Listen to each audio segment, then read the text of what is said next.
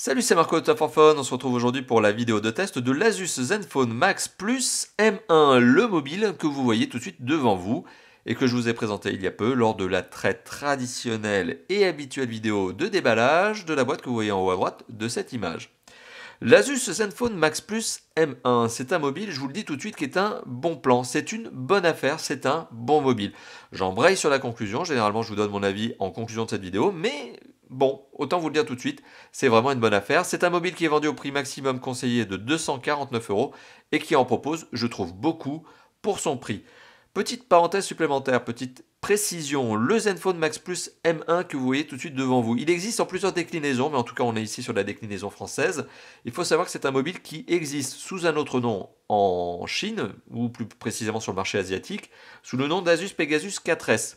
Ce mobile que vous voyez tout de suite en fait devant vous, c'est une déclinaison, c'est une variation qui a été officialisée en février 2018 en Europe et notamment en France, et qui est donc bah, devenu euh, d'autant plus intéressant parce qu'il en propose plus, c'est-à-dire que c'est une déclinaison boostée et vendue à un prix encore plus agressif. Donc tant mieux, c'est tout ce que l'on aime chez Top Alors, il est aussi connu ce téléphone sous la référence Asus X01 8D. Alors, comme ça, ça ne veut peut-être pas dire grand-chose, mais quand vous achetez un mobile Asus, il vaut mieux savoir quelle est la référence exacte que vous achetez, parce que comme je vous l'ai dit, il y a énormément de variations. En fonction du marché sur lequel vous êtes, vous pouvez avoir plus de RAM, plus de ROM. Voilà, il y a des variations qui peuvent arriver. Donc c'est clairement ici la variation dont je viens de vous évoquer la référence. Celle qui sera commercialisée notamment en France. Le téléphone, eh bien on va faire le petit tour du propriétaire. C'est une vidéo de test qui va durer une trentaine de minutes. Le téléphone présente très bien. Très très bien. Il a un look qui est très classique chez Asus, hein, très connu chez Asus, cette forme très arrondie notamment. Construction métal, c'est un téléphone unibody, vous ne pouvez pas l'ouvrir, vous ne pouvez pas accéder à la batterie qui est donc non extractible. Et c'est un téléphone qui présente vraiment très très bien. Il y a du soin au niveau du look, il y a une vitre qui possède, même si elle n'est pas revendiquée en effet 2,5D, qui possède ce petit arrondi très agréable au niveau du toucher. C'est très agréable au niveau de l'usage. La prise en main est bonne, malgré des dimensions qui sont relativement conséquentes sur ce téléphone. La prise en main est bonne, mais le téléphone est extrêmement glissant, déjà et d'une. Donc, premièrement, prenez-le fermement en main pour éviter de le faire glisser, de le faire tomber. Deuxièmement, son dos eh bien, prend extrêmement bien les empreintes de doigts. Donc, si vous êtes maniaque comme moi, vous allez passer votre vie à le nettoyer. Mais c'est un téléphone, voilà, parenthèse, c'est un téléphone qui est très classe, très élégant. C'est un téléphone qui est décliné en trois versions couleurs. Ici, on a la version qui est la noire abyssale, me semble-t-il. Je reprends ma petite fiche pour éviter de dire des bêtises. Oui, c'est ça. Noir abyssal. On est aussi sur une version or lumineux, donc du gold, qui existe aussi sur ce téléphone. Il y a aussi une autre version qui s'appelle gris azur, qui est une sorte de gris argenté. Donc trois versions couleurs, trois coloris de carrosserie pour ce téléphone. Ici, donc je le rappelle, on est sur la version noire abyssale. Donc c'est un téléphone qui présente très bien, mais qui présente d'autant mieux que son écran est borderless. Le taux d'occupation de la face avant par l'écran, c'est 80%. Donc ce que l'on appelle le screen to body en anglais ratio, c'est 80%. On est au-dessus par exemple d'un LG G6, on est au-dessus d'un iPhone 8. Donc c'est un très bel écran qui occupe, vous le voyez, vraiment énormément de face avant. Voilà, donc on a vraiment cette notion de grande image, encombrement réduit. En tout cas, encombrement réduit, certes, par rapport à la taille de l'écran. Après, dans l'absolu, le téléphone fait quand même 15,3 cm de long, 7,3 cm de large et il fait 0,9 cm d'épaisseur. Le tout pour un poids de 160 grammes, ce qui est, on va dire, la bonne norme. C'est un peu plus lourd que ce que l'on a tendance à avoir sur ce genre de, de taille de téléphone, mais ça se comprend par un paramètre supplémentaire qui est la taille de sa batterie. Ce téléphone a une grosse, grosse batterie, sur laquelle on reviendra d'ici quelques instants, bien sûr, lorsque je parlerai de l'autonomie. Voilà, donc on est sur un téléphone qui présente très bien. Si on fait le tour du propriétaire, vraiment, si on s'apesantit un petit peu là-dessus, sur le côté droit, on retrouve le bouton de contrôle, pardon, de volume plus moins, il est là. On retrouve le bouton on-off ici. Sur la tranche inférieure du mobile, on retrouve le connecteur USB, alors micro USB pour être précis, le haut-parleur ici, l'entrée micro primaire ici, oui. On a l'impression qu'il y a deux haut-parleurs, mais non, non, il y en a, bien qu'un. Sur le côté gauche du mobile, on retrouve ici un slot. Alors le slot a peut-être, si vous êtes un peu connaisseur de la chose, une dimension qui a l'air vraiment grande. Et effectivement, c'est un slot sur lequel on peut mettre deux cartes SIM, format nano, et une micro SD. Alors vous avez bien noté j'ai dit et une micro SD, j'ai pas dit ou une micro SD. Ça veut dire qu'on a trois emplacements, on peut bien mettre une carte SIM et une carte SIM et une micro SD. Il n'y a pas de choix à faire, il n'y a pas à sacrifier un emplacement micro SD, pardon, carte SIM pour mettre une micro SD. Donc là, on est déjà sur un bon point parce que c'est vraiment ce que l'on attend des constructeurs. C'est vrai que souvent, je me dis, mais pourquoi les constructeurs s'évertuent à devoir, à nous forcer à sacrifier un emplacement de carte SIM pour mettre la micro SD C'est pas le cas ici. Asus a bien fait son travail. Sur le haut du mobile, on retrouve le jack mini jack, donc ici, et l'entrée micro secondaire, qui permet tout simplement de réduire le bruit ambiant, de réduire le, parasite sonore lorsque vous êtes en conversation ou lorsque vous êtes en train de faire une vidéo. À l'arrière du mobile, on retrouve un double capteur photo dorsal, sur lequel je reviendrai bien sûr tout à l'heure, et son flash LED. On retrouve également un capteur d'empreinte digitale qui marche très très bien. Et on retrouve le marquage, on le voit ici, Asus. Alors c'est un téléphone qui présente très bien, ça je vous l'ai déjà dit, c'est déjà un bon premier point. Autre bon point, c'est son écran. L'écran de ce téléphone, eh bien il offre une très belle image. Alors il offre une très belle image qui est d'autant plus surprenante pour le prix qui est demandé pour le téléphone. Alors je vais juste vous lancer une petite vidéo, ce qui va me permettre d'illustrer un peu mon propos. Mais si je lance une petite vidéo, je mets juste un tout petit peu de son. Voilà. Et vous allez remarquer quelque chose. Vous avez remarqué ce petit effet que j'ai fait là? 16 neuvième, 18 neuvième. Voilà, la particularité de ce téléphone, c'est qu'il est doté d'un écran 18 neuvième et non pas 16 neuvième, ce qui lui permet aussi d'être eh bien, plus... Euh, comment dire, de prendre plus de face avant du mobile. Il a une image qui est plus, enfin en tout cas qui est plus borderless. Vous voyez, il y a des moins de marge. Donc ça, c'est notamment lié à l'écran 18 neuvième qui équipe ce téléphone. Donc très très bel écran. Très très bel écran qui est doté d'une technologie IPS, donc les contrastes sont bons, les couleurs sont bonnes et la luminosité est correcte. Alors j'ai déjà vu des téléphones avec des meilleures luminosités à ce niveau de prix, donc c'est-à-dire qu'ils sont capables d'aller plus haut, mais ce téléphone a un score en nits, 430 nits, c'est le score justement de ce téléphone. Il faut savoir que c'est juste une échelle de valeur, c'est un score que j'utilise moi-même, enfin en tout cas que je définis moi-même avec un petit appareil qui me permet de connaître le niveau de luminosité de l'écran.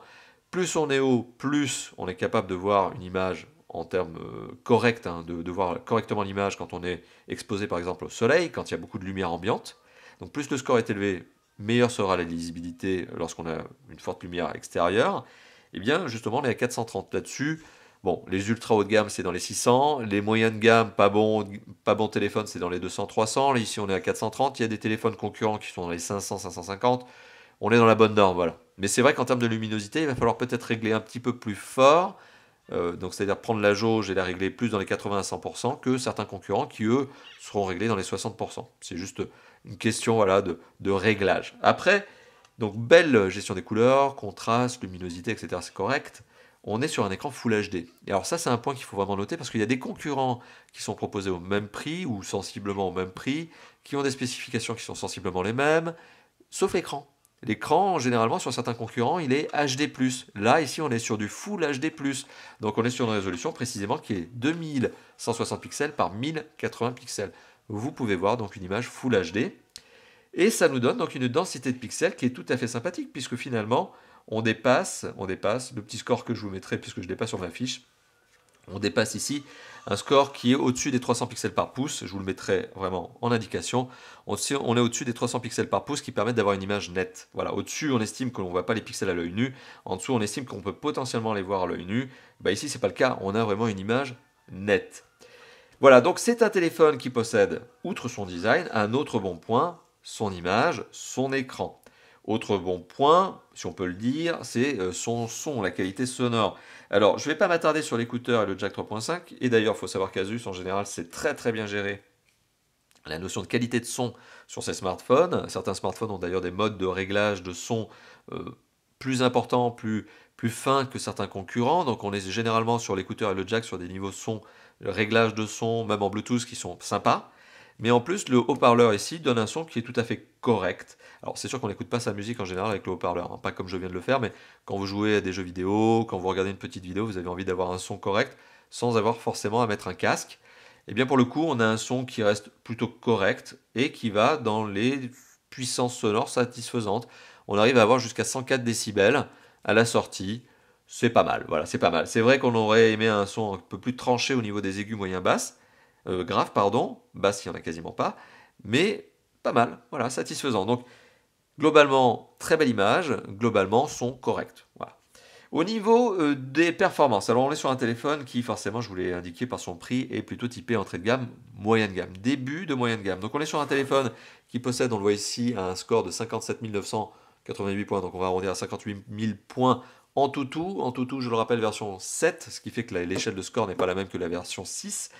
On est sur un téléphone, euh, je vous le disais tout à l'heure, hein, la référence hein, c'est Asus X018D, bon, peu importe, mais on est sur un téléphone donc, qui a des performances correctes. Donc c'est un téléphone qui est capable de faire euh, tourner des grosses applications, euh, capable de faire des gros jeux 3D. Si on accepte les nouveaux jeux 3D qui sont en train de sortir, qui sont les Fortnite et PUBG, qui sont extrêmement sollicitants, mais on est sur un téléphone qui est capable de faire fonctionner sans aucun problème du Real Racing Free ou autre. Et c'est un téléphone qui a des performances, forcément, vous venez de le comprendre, qui sont liées à des composants. Et ces composants sont eh bien, loin d'être mauvais. Alors c'est vrai qu'en 2015-2016, c'était des très bons composants. 2015, c'est la date à laquelle justement ont été commercialisées les premières versions des composants que je vais vous indiquer. Mais en 2018, ça reste encore tout à fait décent. Hein. Voilà, on a trois ans d'écart par rapport au lancement de ces processeurs et processeurs graphiques. Mais bon, si on les a trouvés sympas il y a trois ans et que les gens entre-temps n'ont pas trop évolué, mis à part deux références que je viens de vous donner, eh bien, ça veut dire que le téléphone est capable de tout faire fonctionner et de belle manière. On est sur un processeur ici qui est un processeur de calcul qui est un MediaTek 6750T. Bon, il y a aussi cette fameuse déclinaison MediaTek MT6755. Bon, retenez la référence que le constructeur indique, c'est MT6750VWT. Ça, ça parlera aux connaisseurs. Quand vous n'êtes pas connaisseur et aussi fin que moi et que vous êtes plutôt généraliste, eh bien c'est un processeur 8 cœurs cadencé à 1,5 GHz de la marque MediaTek, c'est un Helio P10, c'est la gamme. Voilà, donc c'est un bon processeur. En termes de mémoire vive, on a 3 Go de mémoire vive, ce qui permet de faire du multitâche et du multi-fenêtre, parce que vous pouvez faire de l'écran partagé sur ce téléphone, donc encore un bon point. Et vous êtes sur un processeur graphique qui est un Mali T860 qui va de pair avec le processeur de calcul que je vous ai donné. Ça parlera aux connaisseurs. Bon, donc tout ça pour vous dire quoi? Bah, Tout ça pour vous dire que c'est un téléphone qui s'en sort bien. En termes de perf, on n'est peut-être pas sur une bête de course, mais on est sur un téléphone qui s'en sort très bien. D'ailleurs, quand on fait un petit 3D Mark et que l'on regarde un petit peu le score que l'on obtient, alors on va pas s'attarder sur le Slingshot Extreme, Extreme avec mon très bon accent, euh, qui est un score démentiel, enfin 361 points, 71 euh, points qui n'a pas l'air d'être un score de dingue, mais c'est sur un benchmark qui est extrêmement hardcore hein, pour un smartphone on a plutôt le 6464 points qu'on a en dessous sur le score Ice Storm Extreme, qui est pas mal, donc qui est vraiment pas mal. Le téléphone s'en sort très bien en jeu 3D, vraiment très bien. Alors à côté de ça, qu'est-ce que je peux vous dire? Bah, La mémoire vive, euh, je vous en ai parlé, mais la mémoire de stockage, donc la mémoire par opposition la RAM, la ROM, la ROM, la mémoire morte. Mais bon, la mémoire de stockage, alors 32 Go, c'est ce qui est revendiqué par le constructeur sur ce téléphone. C'est vrai, ce téléphone a 32 Go. Sauf que lorsque vous allumez le téléphone pour la première fois, bah, tout de suite, il y a une partie liée à la conversion qui va disparaître, en tout cas qui n'existe pas, c'est réel, tous les constructeurs sont concernés. Vous avez le système d'exploitation qui va prendre une part de cette mémoire de stockage, la surcouche, les applications natives, et puis vous allez faire les premières mises à jour, c'est ce que je fais toujours. Donc lorsque j'allume le téléphone, je fais les premières mises à jour, etc. Et je regarde combien il reste de mémoire disponible. Et bien sur les 32 Go, il en reste 20,3 Go disponibles pour eh l'utilisateur, vous, moi, lorsqu'on allume le téléphone et qu'on fait les premières mises à jour c'est dans la norme. C'est-à-dire que pour un téléphone de cette catégorie, justement avec 32 Go, en général, le premier démarrage donne entre 20 et 22 Go de mémoire disponible. Là, on est à 20,3. Qu'est-ce que ça veut dire? Ça veut dire qu'on a une surcouche. Ça veut dire qu'on a une surcouche qui prend à elle toute seule à peu près 1 Go de mémoire de stockage, sur laquelle on va s'attarder. La surcouche, on va pouvoir en reparler. Euh, c'est une bonne surcouche qui a des années-lumière de ce que Asus nous avait habitué à avoir avant et qui était encore plus gourmand. Donc là, on sent qu'Asus est revenu en arrière et a décidé d'avoir une surcouche qui est moins gourmande en ressources RAM et en ressources ROM. Mais on va en reparler d'ici quelques instants. Alors, si jamais vous constatez que la mémoire de stockage interne n'est pas suffisante pour vous, si vous avez envie d'avoir plus de mémoire de stockage, parce que tout simplement vous êtes euh, un inconditionnel de MP3 et vous avez une grande bibliothèque de MP3, ou parce que vous avez envie d'installer euh, les 8 saisons de Games of Thrones, je crois qu'ils en sont à la 8ème, eh bien vous avez un emplacement micro SD, je vous le rappelle, qui n'oblige pas d'ailleurs à sacrifier un emplacement de carte SIM. Encore le bon point, le fameux bon point que je vous ai indiqué tout à l'heure. Donc cet emplacement micro SD permet d'ajouter une carte jusqu'à 256 Go de mémoire supplémentaire. Voilà, c'est cette fameuse micro SD possible, euh, sachant qu'une micro SD de 256 Go, quand on cherche les bons plans, notamment sur notre site, vous les avez, eh bien c'est du 60 euros en plus. Bon, après si vous êtes euh, pas forcément, euh, vous n'avez pas forcément envie d'ajouter 256 Go, une carte de 32 Go, ça vaut une vingtaine d'euros hein, de nos jours. Donc c'est pas très compliqué d'avoir de la mémoire en plus pour quelques dizaines d'euros supplémentaires. Alors quand même, petite parenthèse, mais bon là-dessus c'est pas un argument pour moi, c'est ce que dit euh, de toute façon la marque, mais pour moi c'est pas un argument. La marque revendique que vous avez la capacité d'avoir un an de Google Drive avec un espace de stockage de 100 Go, parce qu'il y a un accord entre Asus et Google, vous avez 100 Go de mémoire de stockage disponible pendant un an. Bon, euh, la mémoire cloud, pour moi, c'est une mémoire de sauvegarde. Ça n'a jamais été une mémoire d'usage. C'est-à-dire que mettre ses MP3 dans le cloud et essayer de se connecter en 4G quand vous êtes en déplacement, c'est pas forcément une bonne idée selon moi. Je préfère avoir la musique Par exemple, ou mes films directement dans la mémoire du téléphone, ce qui m'oblige à ne pas me connecter, consommer de la data et être dépendant d'une accroche réseau qui parfois est capricieuse. Dans le métro, par exemple, l'accroche réseau, c'est pas vraiment ça. Voilà, mais bon, je viens de vous le dire, vous avez 100 Go de mémoire de stockage offert pendant un an. Et après, si vous voulez conserver les 100 Go, bah, vous devrez payer tout simplement, ou ne pas payer, donc ne pas les avoir. Au niveau de la connectivité, eh vous êtes sur un téléphone qui a une connectivité euh, plutôt complète. Enfin, plutôt complète. Je vais arrêter de, minimiser la chose. Euh, on n'est pas plutôt complet, on est complet. On est sur un téléphone, donc je le rappelle, deux emplacements de carte SIM format nano, une micro SD, je vous en ai parlé. Le téléphone en lui-même est 4G, 4G LTE, catégorie 4 pour être précis, ce qui veut dire que vous téléchargez à 100 Mbps et que vous envoyez, vous uploadez à 50 Mbps. Grand classique. Il a aussi ce téléphone une connexion 3G+, au cas où vous seriez dans une zone qui ne capte pas bien la 4G. Donc vous voyez, vous avez quand même cette notion de secours avec de la 3G+. Alors, catégorie 4, je vous ai donné des vitesses d'upload, je vous ai donné des vitesses de download, hein. donc upload, download, c'est ce que vous recevez, download, upload, vous envoyez. C'est des vitesses comme ça qui peuvent paraître euh, sympathiques, elles le sont, c'est des vitesses qui peuvent pour certains paraître en dessous de certains concurrents, c'est vrai qu'il y a des concurrents qui sont catégorie 12 et qui permettent d'envoyer dans le gigaoctet euh, plutôt que dans les 150 mégabits, c'est clair, mais ça, ça par reconnaisseur, certes. Mais d'un autre côté, ce que je veux vous dire ici, c'est que de toute façon, votre opérateur en France ne vous permet pas d'aller plus vite. Donc ça sert à rien aujourd'hui, à l'heure actuelle, d'avoir une catégorie 12, par exemple sur de la 4G dans votre smartphone, parce que votre opérateur ne permet pas d'aller jusqu'à là. Donc euh, bon, catégorie 4, c'est en fait le standard à l'heure actuelle en France. Donc une très bonne 4G. Pour vous, pour vous simplifier la chose, on est sur une 4G LTE qui est dans le standard à l'heure actuelle. Alors à côté de ça, ce téléphone, bien sûr, il est bien doté en termes de connectivité. Il a du Wi-Fi, norme BGN, donc ça veut dire qu'il n'a pas la A, il n'a pas la AC, donc ils sont les plus rapides, mais il a la BGN qui vous permettra de vous en sortir à merveille. Bluetooth 4.0, il est AGPS GLONASS, donc il utilise le réseau de satellite américain GPS et le réseau de satellite russe GLONASS. Donc ça permet d'avoir un meilleur positionnement, une meilleure, on va dire, rapidité de localisation. Et en plus, il est AGPS, ce qui veut dire qu'il utilise les bornes Wi-Fi et les antennes cellulaires pour accroître la précision et la rapidité de localisation. On a du micro USB, comme je vous l'ai montré en dessous du mobile, on a un mini jack sur le haut du mobile et on a de la radio FM. Voilà. À côté de ça, on notera aussi la présence d'un capteur d'empreinte digitale qui permet de déverrouiller le téléphone rapidement, efficacement. J'ai fait justement le test en série, c'est-à-dire que j'ai fait plusieurs démarrages et rallumages du téléphone comme ça, donc j'éteins, je rallume, j'éteins, je rallume, et je vous mettrai probablement une incrustation. Ce téléphone est rapide, efficace et il ne s'est pas fait avoir. C'est-à-dire que c'est la bonne empreinte digitale qui est utilisée, on ne peut pas l'avoir en trick, et en plus, eh bien, il le fait vite. Donc c'est quand même un bon point. Il est aussi doté, ce téléphone, d'une reconnaissance faciale.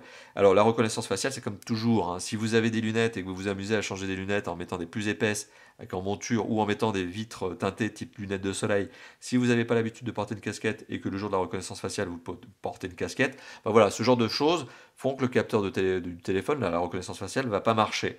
Mais bon, après le reste du temps, si vous avez un visage qui reste conforme à ce que vous aviez saisi la première fois, vous faites vos, premiers paramétrages et après vous faites la reconnaissance faciale, bah ça marche bien. Voilà, donc ça marche bien. Mais ça marche bien aussi quand il y a de la lumière. Si vous faites ça en pénombre, euh, vous étonnez pas. Le capteur photo qui est utilisé pour la reconnaissance faciale, il ne peut pas faire non, plus des miracles. Voilà, donc c'est un mode pour moi la reconnaissance faciale qui est un mode plus, sympa. Rassurez-vous, c'est comme le capteur d'empreinte digitale. Si le téléphone ne vous reconnaît pas, vous avez quand même euh, la possibilité de le déverrouiller avec euh, la méthode ancienne, le code PIN ou, le code PIN ou un schéma. C'est-à-dire que si jamais pas de capteur qui fonctionne, parce que vous avez par exemple le capteur d'empreinte digitale, vous avez des doigts trop gras parce que vous avez mangé McDo, vous avez quand même le code PIN qui vous permet de déverrouiller le téléphone ou le schéma à l'ancienne. Voilà, donc rassurez-vous. Autre point de la connectivité que, que j'aime bien mentionner, que j'aime bien préciser, c'est le DAS. Alors le DAS, c'est le débit d'absorption spécifique. C'est la capacité qu'a le téléphone à émettre peu ou beaucoup d'ondes. Eh bien le DAS de ce téléphone, il est excellent. Excellent, ce téléphone figure parmi les meilleurs élèves dans sa catégorie. 0,282 watts par kilo à la tête, 0,746 watts par kilo au corps. C'est des normes comme ça qui ne veulent peut-être pas dire grand-chose pour vous comme ça, mais sachez que c'est un très bon élève. Aujourd'hui, les haut de gamme, ultra haut de gamme sont en 0,2, 0,3.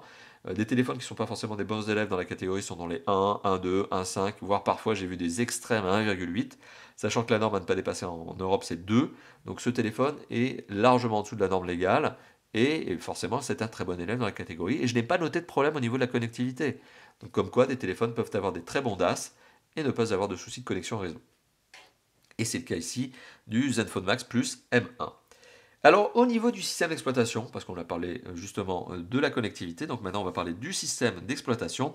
Alors, on est en Android, on est en Android 7.0. Alors d'ailleurs je vais vous le montrer comme ça, voilà, on aura l'élément factuel Android 7.0. On le voit ici, c'est écrit Android, hop là, 7.0 ici. Est-ce qu'on a, voilà, on a le fameux petit N de la version Nougat, parce que c'est bien Android Nougat. Alors ce système d'exploitation, il est très sympa. En plus, il permet d'avoir du multi-fenêtre, qui est une fonction native justement de la version 7.0 d'Android. Et à côté de ça, ou plutôt sur ça, euh, eh bien Asus s'est senti euh, obligé d'ajouter sa, fameuse surcouche, qui s'appelle Zen UI, Zen UI, Zen User Interface 4.0. Donc bon, je vous le rappelle, Zen, c'est pas venu nulle part. Hein. Les portables de Asus s'appellent des ZenBook, euh, les, téléphones s'appellent des ZenPhone, et la surcouche, eh ben, elle s'appelle Zen UI. Voilà. Donc c'est un grand classique. Et donc c'est une surcouche euh, faite par Asus, donc une surcouche maison, hein, c'est eux qui la conçoivent. C'est une surcouche qui est devenue bien plus agréable à utiliser que les surcouches de 2015 ou 2016 ou 2017. 2016 avait été alors un phénomène d'effets spéciaux. 2017 a montré le recul justement d'Asus et le retour à quelque chose de beaucoup plus simple à utiliser.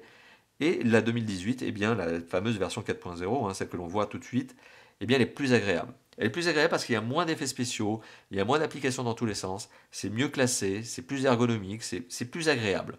Donc on se retrouve forcément avec les slides de panneaux latéraux. Alors vous l'avez remarqué, un slide vers la gauche, ça ouvre Google. Slide vers la droite, vous avez des panneaux successifs. Vous l'aurez remarqué, il n'y a pas de bouton menu. En fait, il faut slider vers le bas. Et quand on slide vers le bas, on retrouve finalement le chariot d'applications, toutes les applications pouvant être classées à votre bon vouloir, soit en dossier, soit par ordre alphabétique et autres. Ça, c'est la particularité d'Asus. C'est la modification même du menu comme vous le souhaitez en termes d'organisation. Une fois que vous êtes dans les paramètres du téléphone, on remarque certains usages supplémentaires. Par exemple, on remarquera que, si je retrouve, vous avez bon, la notion de sécurité, protection Zen UI, voilà, vous avez la possibilité d'avoir un mode SOS. Alors c'est assez bizarrement appelé protection. Mais c'est un mode SOS, c'est un gros bouton. Donc si jamais vous êtes perdu, c'est un peu un mode senior. Hein. Bon, c'est sans, être euh, péjoratif là-dedans, mais c'est un mode que l'on retrouve notamment sur les téléphones seniors en général avec un gros bouton pour appeler au cas où il y a un problème. Vous avez également la notion de fond d'écran, parce que vous pouvez gérer des fonds d'écran qui sont proposés euh, soit, euh, soit par Asus, soit par des gens qui travaillent entre guillemets pour Asus dans un marketplace, donc ils sont gratuits ou payants, il peut y avoir des payants. Vous avez des modes spéciaux d'affichage, notamment le mode facile, vous l'aurez remarqué, qui permet de, passer sur un affichage simplifié justement euh, du téléphone. Donc mode facile. Vous avez aussi le mode enfant qui permet de sécuriser le, téléphone et d'éviter que vos enfants ou que les enfants qui euh, souhaitent se connecter à votre mobile, par exemple pour jouer à un jeu, hein, c'est ce qui peut se passer, eh bien accèdent à des contenus qui ne soient pas sécurisés, verrouillés. Donc voilà, vous avez ces deux modes. Vous avez également le mode euh, paramètres personnalisés Asus. Bon, vous avez plein plein de choses. Vous avez un mode gant. Ah oui, ça c'est pas mal. Ça par exemple, vous avez le mode tactile qui peut être encore plus fin même quand vous l'utilisez avec un gant. Alors, il faut pas que le gant soit trop épais, il ne faut pas que ce soit un gant de ski. Voilà, vous avez des petits raccourcis supplémentaires, etc., etc. Voilà, bon, plein plein de plein d'usages et des applications. Alors, si on s'attarde sur les applications, on a Power Master. Alors Power Master, c'est le mode économie d'énergie d'Asus. Alors je ne sais pas si on le voit très bien parce que l'écran, là, je l'ai mis en luminosité maximale. Je vais peut-être réduire la luminosité pour que ça passe un peu mieux à l'écran. Vous voyez, je le fais en live avec vous. Ah, c'est un peu mieux, ouais, ça se voit un peu mieux. Bon, c'est pas terrible non plus. Donc ici, on a voilà 25% de, batterie. On voit que le temps restant, c'est 1 jour et 11 heures. Température, voilà, on nous dit pas mal de choses. C'est un mode économie d'énergie. On remarque d'ailleurs, charge inverse. Ce téléphone a une batterie qui est si conséquente, d'ailleurs vous avez l'adaptateur dans la boîte, que vous pouvez, vous pouvez vous servir de ce téléphone en power bank, en batterie externe, pour un autre téléphone. Ça, je vais vous dire, c'est la classe. Hein. Quand vous voulez frimer avec un copain ou une copine et que vous voulez recharger son téléphone avec votre téléphone, c'est la grande classe. Ah ça, c'est la frime ultime. Euh, c'est-à-dire que vous allez dire à votre copain, bah ouais, t'as une batterie qui, t'as un téléphone qui n'a pas d'autonomie. Je vais même être capable de non seulement tenir moi de mon côté et de recharger ton téléphone. Voilà, vous l'avez compris, c'est la frime. Donc Power Master. je remets la luminosité. Voilà, Power Master.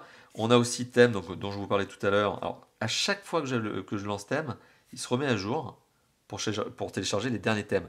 Alors télécharger des miniatures, parce que vous n'accédez vous accédez pas à la totalité des thèmes de manière gratuite, comme je vous l'ai dit. Il y en a qui sont payants, il y en a qui sont gratuits, mais ça vous permet de personnaliser votre téléphone, et il y en a qui sont gratuits, qui sont très bien. Vous avez aussi le Selfie Master, Selfie Master avec mon très bon accent, qui vous permet par exemple de gérer un Face Beauty, un Beauty Level, c'est comme ça que c'est géré, c'est comme ça que ça s'appelle, qui va lisser votre grain de peau. Ça va vous rendre plus beau, plus belle. Voilà, donc ça c'est dans le mode vidéo.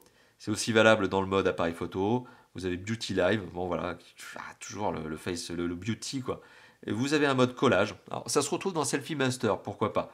Mais vous avez euh, la possibilité de créer des collages, donc des assemblages, une photo avec plusieurs photos, et diaporama, vous pouvez créer un diaporama. C'est classe, c'est un mode supplémentaire dans le mode photo, et euh, sachez que dans toutes les applications, euh, enfin en tout cas notamment dans la notion d'application photo, vous avez des petits réglages, des petits customs supplémentaires gérés par Asus. Mais cette surcouche, elle est à des années-lumière, comme je vous le disais, de la gourmandise, du, de, de, ce, de, ce, euh, de cette foison d'applications dans laquelle on était perdu. C'est-à-dire que là, elle est devenue très agréable, cette surcouche très agréable et c'est bien classé, c'est propre. Vraiment, c'est un résultat qui est très propre. Qui prend de la mémoire de stockage, hein, c'est-à-dire que vous avez à peu près 1 giga de mémoire de stockage qui est consommé ne serait-ce que par la surcouche et les fonctionnalités supplémentaires, mais c'est devenu très clean, très propre, très agréable. Voilà, donc maintenant il est temps de passer à l'usage de ce téléphone. Alors, vous l'imaginez, c'est un téléphone moderne, smartphone moderne, smartphone qui remplit tous les usages classiques d'un smartphone. Appel, SMS, MMS, email, navigation Internet, navigation GPS, grosse application, gros jeux, etc. J'aurais probablement d'ailleurs mis une, incrustation avec un Real Racing Free vous prouver que ce téléphone fait des jeux 3D. Alors soit je l'aurais déjà mis, soit je le mets maintenant, mais peu importe, ce téléphone fait des jeux 3D. Peut-être pas les gros jeux 3D qui sont en train de sortir, comme Fortnite et PUBG, qui sont des portages, je le rappelle, entre guillemets portages, qui sont des déclinaisons de gros jeux PC et euh, consoles. Donc c'est pas dit qu'on ait des bons frame rate, donc c'est-à-dire des bonnes fluidités d'image sur des gros gros jeux qui sortent aujourd'hui, qui sont d'ailleurs à peine prévus pour smartphone. Donc c'est assez bizarre. Hein.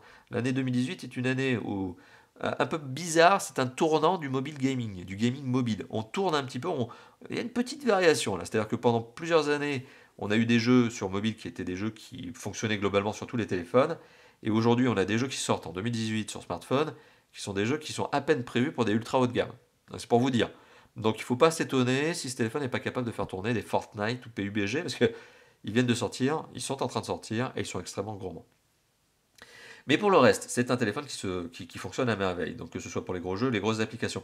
Alors il y a deux usages aujourd'hui qui permettent de distinguer les téléphones entre eux, vous le savez. Hein. Il y a notamment la qualité photo et notamment l'autonomie. Alors la qualité photo, ce téléphone prend des photos avec un double capteur dorsal, donc 16 mégapixels pour l'un, 8 mégapixels pour l'autre, mais qui présente pour le 8 mégapixels la particularité d'être un grand angle, donc ça va vous permettre de couvrir un champ de vision plus large, 120 degrés, et donc de rentrer en fait finalement plus d'informations dans la photo.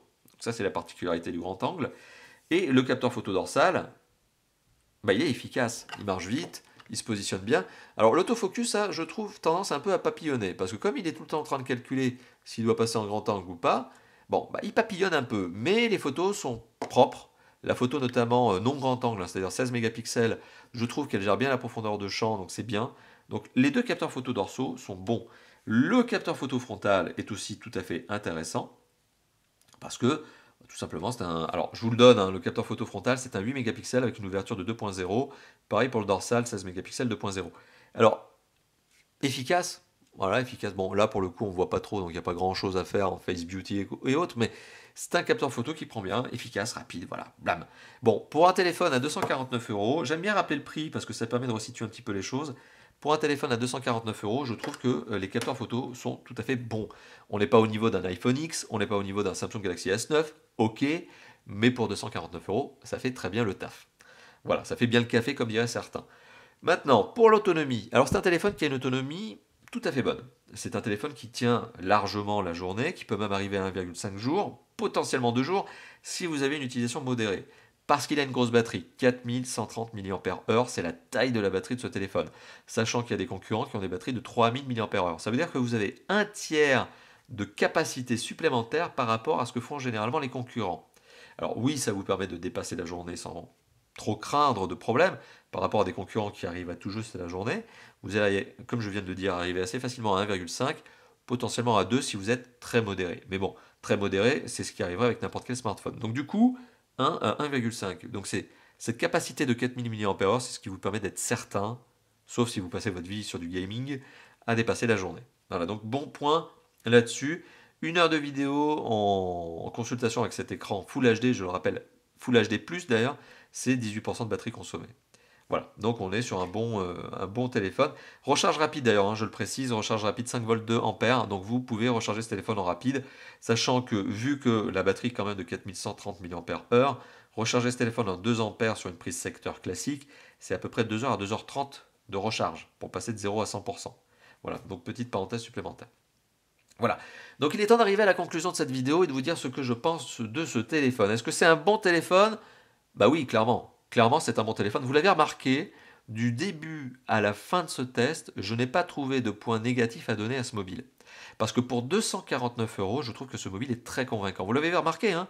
Vraiment, tous les points, tous les points, l'esthétique, l'écran, le son, les performances, la qualité photo, l'autonomie, tous les points que j'ai détaillés, le système d'exploitation sont bons. Parce qu'on est sur une composition qui est harmonieuse, une configuration harmonieuse, homogène, un téléphone qui a vraiment des bons points, par rapport à une concurrence qui est généralement placée au même prix, on a des points supplémentaires, notamment une taille de batterie supérieure et un écran Full HD+. C'est du bien, c'est du bon. Voilà, donc c'est vraiment un bon, un bon téléphone. Pour son prix de 149 euros, c'est une, c'est pas une bonne surprise parce que j'avais déjà vu les specs avant de tester le téléphone et je m'attendais déjà à un résultat qui soit satisfaisant mais c'est un téléphone qui, bah, voilà, qui est satisfaisant pour son prix, 249 euros.